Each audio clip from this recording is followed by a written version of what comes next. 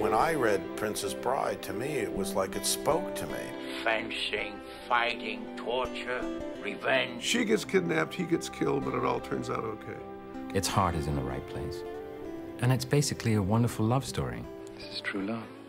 The little girl's fantasy Think this happens every day?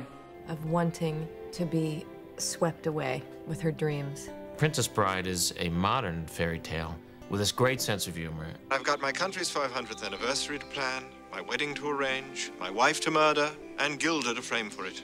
I'm swamped. I think it's supposed to reflect really how kids are read stories. Do you know what that sound is, Highness?